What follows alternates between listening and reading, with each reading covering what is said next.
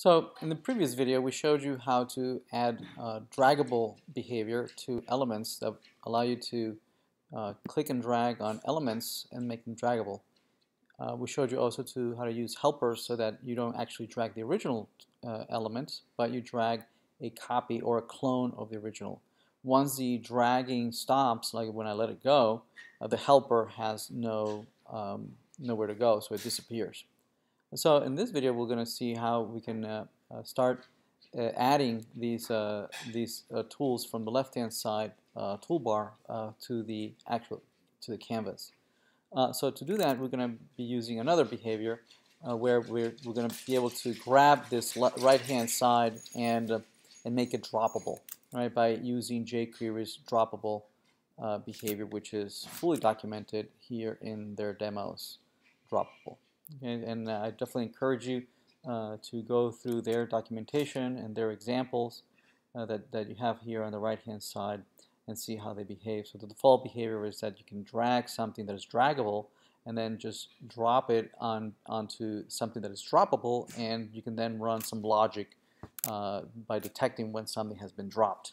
All right, uh, so let's do that. Let's um, okay, let's go to what we have so far. We have so far the the tools on the left, right, there they are, the, the three H3. We have uh, tagged them using the class tool, right, they're all tools, and we, we, um, we grab them uh, using a jQuery selector, and we make them draggable by calling .draggable on them.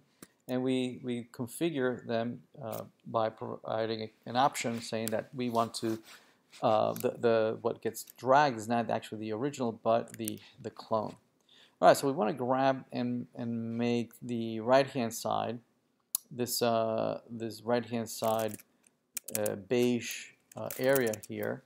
Uh, we want to make that uh, uh, the droppable area, which is in our code, it's, it's this div right here, right? So we're gonna we're gonna tag it using a class, something like maybe like canvas, where we want to drop the um, the the tools and so, so that we can then refer to it from jQuery. We're going to say, we're going to grab it using a selector, say dot canvas, okay, uh, and we're going to call droppable on this, droppable, okay. Uh, now that it's droppable, um, uh, you'll, notice, you'll notice that if we re refresh, we won't see any any uh, any differences, right? If I if I drop it, no, nothing is really uh, detectable that something is actually happening. What Droppable allows us to do is to now configure callbacks that are going to be invoked uh, whenever uh, something gets dropped. Right? So we can we can configure here. Uh, we can configure a function that can be invoked whenever something is dropped. Right? Uh, if we look at the documentation uh, for Droppable, right? If we go to API documentation, we'll see that uh, here are a whole bunch of options that you can configure, but these are also uh, events that get invoked uh, whenever an, uh, when, whenever a, an action occurs. One of them is drop, right? So, so when you know, you know, whenever a drop event occurs, um, uh, you can configure a function that will be invoked whenever that happens, right? So, for instance, we can say that this is the function that I want to invoke. Could be embedded right here as, a, as an anonymous function, or it could be a different function altogether somewhere declared elsewhere. Uh, when this function gets gets invoked, it passes as arguments uh, two uh, two uh, variables. One of them is uh, represents the event um, uh, of of the of the when when the event occur when the drop event occur. it'll have timestamp of when it occur, and also a UI object that represents the you know what got dropped. Okay, so for now, let's um, let's just make an alert here that uh, an element has been dropped. So a tool was dropped. Okay. Uh, so let's uh, refresh our page here. Uh, and now when I, when I drag a tool and I drop it on the canvas, notice that it says alert, the tool was dropped. There it is. Right, right now nothing is happening. What we want to be able to do is to record the fact that these tools uh, were dropped and perhaps distinguish on which tool was dropped, either one, two, or three. Right? uh, we we are going to create a little data model uh, where we keep track of all the elements that were dropped on the on the canvas. So we'll, uh, for instance, we could uh, create a variable that call it maybe a diagram, right?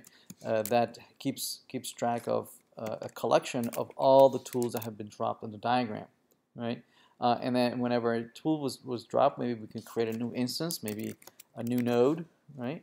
Uh, that um, has an, uh, an object uh, that um, uh, of the tool that was dropped. For instance, we can we can uh, this node can have maybe a unique identifier of a new object instance that has been dropped. maybe we can use maybe ID, and we can tag it. maybe we can create a unique identifier with maybe like a timestamp. For that, we can create a new uh, a new date instance and then uh, get the current time that will be, you know, how many milliseconds from, you know, January 1970 or something like that. Once we have a node instance, maybe we can add it to the diagram. We can say diagram uh, dot uh, push. We can add the new node in there, right? Uh, at the end, we can then perhaps uh, write it out to the console to see what our diagram looks like so far. Right, so let's go remove the alert uh, and let's um, refresh this uh, and let's look at the console console. Let's move this to the bottom perhaps. There we go. Uh, so let's drag tool 1. There we go. So we have an array uh, of an object right, that has a unique identifier. If we drop another one, right, notice that we have an array of two elements, right, each one with a unique identifier. Right, these are the two elements with unique identifiers. And if we drop a third one, right, we'll have yet another array with the three elements that were dropped. Okay. Um, so what we need to do next is, is uh, be able to, um, to uh, in, in the data model that we're keeping track of this diagram is to know whether it was to 1, 2, or 3 so that we can record these uh, and, um, and perhaps later on we can render uh, the canvas on the right hand side. So to do that uh, we need to be able to distinguish uh, what, what type tool was it. Right? We can look at the label to see what it is or we can give it a, maybe a, a more uh, abstract uh, uh, meaning. For instance, this might be tool one, right? Or give them a name, right? Tool two or tool three.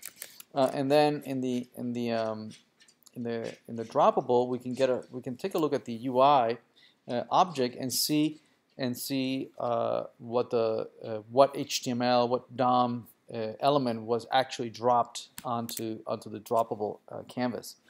Uh, for that, uh, let's uh, take a look at the.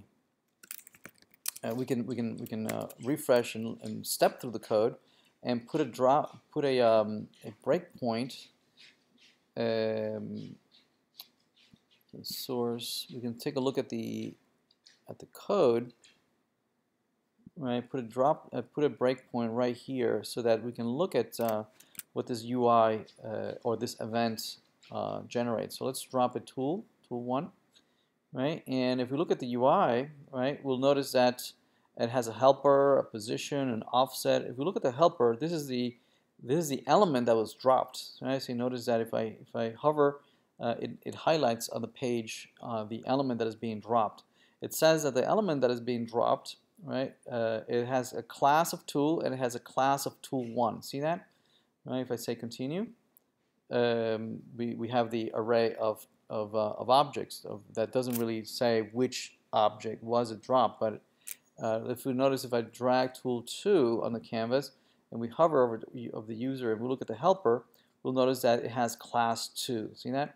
Uh, so we could use this notion that we can use this information with a, with a class tool 1 or class tool 2 to make a, a notation, uh, some information on the node uh, to remember what tool was dropped, right? So let's do that. Let's let's um, uh, let's add an if statement that says here something like, you know, if if the uh, helper, right, if UI dot helper uh, has class, right? So notice that uh, the helper is a jQuery object, right? That um, and that we can ask it, right? If the helper has class, right? This is a method that you that jQuery adds uh, to to the to uh, the the elements, right? So that it extends HTML, so that it has you can query uh, these kinds of, of, of, logic. You can ask it, does it have the class uh, tool dash one?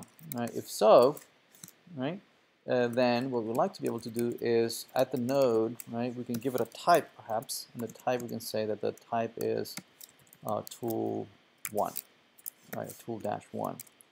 Right? Uh, uh, else we can uh, we can ask ourselves else if it has tool 2 uh, then the type is tool 2 right and similarly we can do for tool 3 right so we say if the class has tool 3 then the type is tool 3 right? And that the node uh, still is going to be pushed into the diagram but it'll have the additional information that uh, of the type right? And again this information can be used later when we render the diagram right to render it one way or another into different into different symbols into different um, uh, diagram styles maybe a, a, a diamond or circle or, or square rectangle or what whatnot okay so let's let's uh, refresh this and um, now let's drag tool 1 and tool 2, right? And notice that uh, in the console we have the array of both tools, both tools we had. Notice that the first one,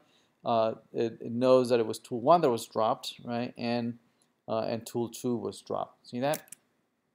Uh, the, the, the next thing that we might need is that uh, when, you know, as, as we add them, let's put a breakpoint here.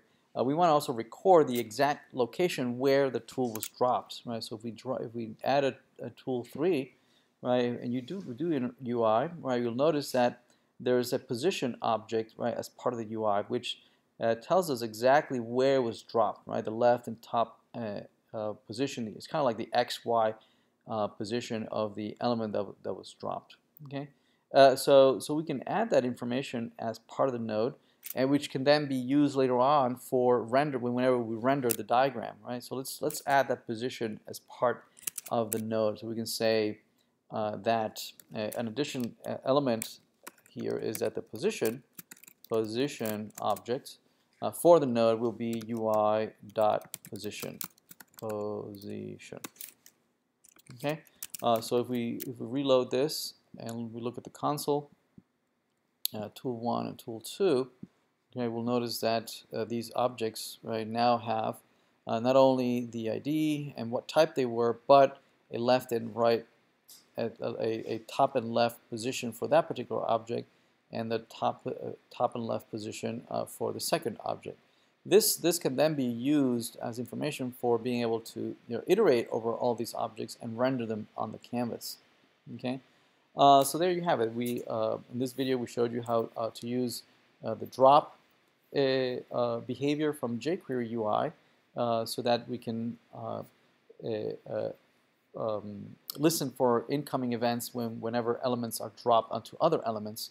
And, and we are creating a little data model to keep track of uh, elements uh, so that we can then, at a later stage, uh, render them onto the canvas.